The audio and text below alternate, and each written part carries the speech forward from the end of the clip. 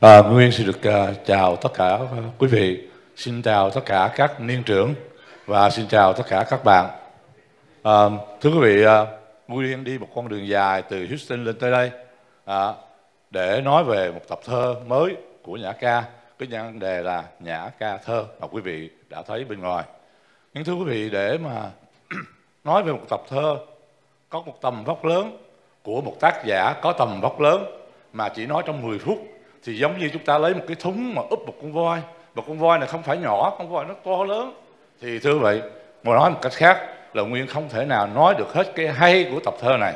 Cho nên trong khoảnh khắc 10 phút, xin cho phép nguyên chỉ nói được hai điều. Việc đầu tiên hết mà tập thơ này chứng minh rằng là một người thi sĩ có tầm vóc là một người có thể đại diện cái thế hệ của mình và nói lên những tiếng nói của thế hệ mình rồi sau đó, tiếng nói đó vọng đến cái thế hệ tương lai. Do đó, chúng ta có thể cảm thông được nhà thơ đó trong thời đại của họ và những thế hệ sau cũng có thể cảm thông được. Điều đó chứng minh được là một thi sĩ có tầm vóc.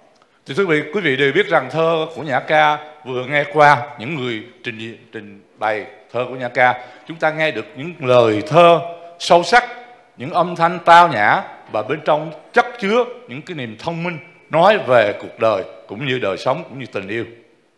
Tuy nhiên nhã ca có một quan điểm khác.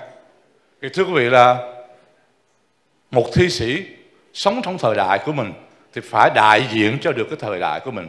Cái thời mà thơ của nhã ca vùng vẫy trên văn đàn đó, thời đó đó, chúng ta sống trong cái nền văn hóa, gọi là một văn hóa trọng nam khinh nữ. Ở đâu cũng thấy đầy dẫy những điều răn của ông khổng tử hết do đó cái thân phận của người đàn bà thực sự ra ở trong xã hội Việt Nam trong thời đó vô cùng, nếu mà cho Nguyên được nói một cách thẳng thắn, là một thân phận của người nô tỳ. Vậy thì, trong lúc đó, có bao nhiêu người nghệ sĩ đã lên tiếng để binh vực cho cái số phận đàn bà, số phận phụ nữ trong cái thời điểm của nhà thơ nhã ca? Hầu như không có. Nếu có, là những nam thi sĩ ca tụng những phụ nữ bởi vì quyền lợi của họ. Ví dụ như nhà thơ nguyên sa là người ca tụng phụ nữ vô cùng tốt đẹp, nhưng cũng giống như những ông vua ban những ơn lành, ban những phần thưởng xuống cho hoàng hậu và cung phi, nhưng bất cứ lúc nào cũng có thể bị chặt đầu. Vì vậy, nhã ca là một trong những tiếng nói đã đứng lên để nói những cái phong trào chống lại, đem lại quyền lợi của người phụ nữ, đem lại cái quyền là người của người đàn bà Việt Nam.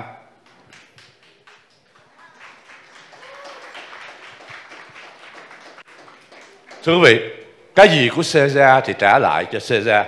Nhà ca viết, tại sao tao làm đàn bà? Tại sao tao được yêu thương, được phản bội, được bị lừa dối, được sinh con đẻ cái? Tại sao? Tại sao? Ôi biết bao giờ ta hết hỏi. Tôi đố quý vị ở đây có ai có thể trả lời được. Trong bài thơ đàn bà là mặt trời, nhã ca viết, hỡi các chị, chúng ta đều sáng như mặt trời, tinh khiết như bình minh, vì chúng ta làm ra ái tình, ra hoa lá và sự sống trên trái đất. Người đàn bà nào cũng đẹp, tôi đồng ý chuyện này nha. Ừ. mùa xuân và hoa hồng đều nở vì chúng ta. Chúng ta ban phát ái tình cho thiên đàng của chúng ta tươi tốt mãi. Cảm ơn thượng đế đã cho tôi đôi vú, cho tôi da mịn tóc dài cho tôi rực rỡ như mặt trời để tôi làm ra ái tình và rượu ngọt tràn trên mặt đất. Thì đó là cái công trình của nhà ca. Mà nguyên chỉ đọc một vài bài thơ một vài câu thơ để đại diện. Quý vị có thể tìm hiểu trong cái, cái câu chuyện đó mình nghe bây giờ là chuyện rất bình thường nhưng ở thời điểm đó là một sự can đảm và một sự thông minh để nói ra những điều mà chúng ta vừa nghe. Đó là điểm thứ nhất. Cái điểm thứ hai mà nguyên muốn nói tới nữa là thơ Việt Nam từ cái thời mà thơ mới tới giờ đó, thưa vị, là những cái lời thơ luôn luôn ống ả mực mà, luôn luôn được trải chuốt và êm đềm. Mà chết chính ngày nay vẫn còn những lời thơ đó. Ít có ai có thể vượt ra được điều đó. Thưa quý vị, từ năm 1950 cho tới năm 1990 thế giới đã có một phong trào rất lớn là người ta đem những lời nói bình thường trong đời sống để vào làm thơ đôi khi chúng ta thấy rằng là cái lời nói bình thường mình đâu có phải là thơ. Tuy nhiên có thể thành thơ. Bây giờ nguyên đưa một ví dụ. Như có một người bị tai nạn tông xe té gãy chân à, người đó lại tự nhiên đứng dậy nói rằng là trời cao hãy xuống cứu ta với hãy dời ta đi tới nhà thương. Quý vị không có chuyện đó bao giờ cả. Không có bao giờ. Té gãy chân đau quá trời ơi cứu tôi với. Kêu dùm xe cứu thương. Phải không ạ? Những lời đó có thể thành thơ không? Vâng nếu đúng người đúng chỗ đúng thời gian thì những lời đó sẽ trở thành thơ. Mà lời đó trở thành những lời thơ còn ác liệt hơn là lời thơ thường nữa.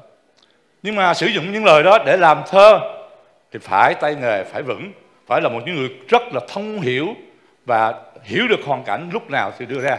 Vì vậy cho nên à, trong lúc những người khác còn làm thơ mượt mà thì nhã ca đã phát hiện ra điều đó và đã đem những đó vào trong thơ những câu nói rất là bình thường thưa quý vị ví dụ như quý vị đọc uh, trong thơ thì sẽ thấy rằng là uh, người chồng uh, người vợ nói rằng anh rung cành em há trái cùng cắn ngập răng trái nghiệp chướng đắng hét hấp dẫn. Trúng đọc rồi phải không? Cùng tử thương chết nhé. Người chồng trả lời chết đâu dễ còn biết bao nhiêu là việc đành chờ người vợ hỏi, sống tiếp hả anh? Thưa vị chết đâu dễ, sống tiếp hả anh? Nghe rất bình thường. Nhưng khi tôi đọc câu này, chính tôi cũng giật mình. Mình nghĩ rằng, tại sao cuộc sống mà khốn nạn như vậy? Tại sao muốn muốn sống mà cũng phải hỏi nữa rồi, một cái câu nói, chết đâu dễ, sống tiếp hả anh? Mà đưa vào trong cái trường hợp này, trở thành một câu thơ rúng động trong cái hoàn cảnh của hai vợ chồng thất lạc cùng cực thất vọng trong cái đời sống để đi tìm hạnh phúc và ăn trúng trái độc. Thì đó là những điều mà thưa quý vị à, cái tay nghề nào có thể sử dụng được những lời nói bình thường trong đời sống thành thơ là trở thành những lời thơ vô cùng độc đáo. Nhưng mà có một bài thơ Nguyên xin thưa cùng quý vị đó là khi trở lại Sài Gòn. Mời quý vị nghe. Bây giờ là dĩ vãng vùi lấp không còn gì nữa lời hứa của chàng cùng mưa lũ vừa thức dậy. Làm sao quên được chuyến xe đêm trong bầy sao tình tự? Trời mưa trời mưa vẫn trời mưa. Má ơi má, con còn sống. Có một lần nguyên hứa với mẹ nguyên trở về thăm mẹ trong ngày tết. Nhưng rồi cái đứa con lêu lỏng này đó đi chơi, quên, không nhớ ngày về. Cho đến sáng 30 mới sực nhớ nhảy lên chuyến xe đò, tốc hành để về tới nhà. Khi về tới nhà là đã là nửa đêm. Mẹ nguyên đã vô giường nằm ngủ rồi. Nhưng mà ở phòng khách, khi bà nghe nguyên nói rằng, mẹ ơi, con về, thì tôi nghe mẹ tôi bật khóc từ ở trong giường. Đi ra cho tới ngoài phòng khách để ôm lấy tôi. Thưa quý vị, cái đó không bao giờ tôi quên. Quý vị thử nghĩ rằng, và tôi khẳng định rằng không có một người mẹ nào trên trần gian này mà đang chờ đợi đứa con mình đang lưu lạc khắp nơi, không biết sống chết thế nào. Bỗng nhiên nghe tiếng nói của nó, con về rồi mẹ ơi. Người mẹ đó chắc chắn sẽ khóc, sẽ phải bật khóc. Mà người mẹ của nhã ca khóc còn nhiều hơn mẹ của tôi, là bởi vì đứa con không phải chỉ trở về, mà đứa con sống sót trở về. Má ơi má, con còn sống. Xin cảm ơn tất cả quý vị.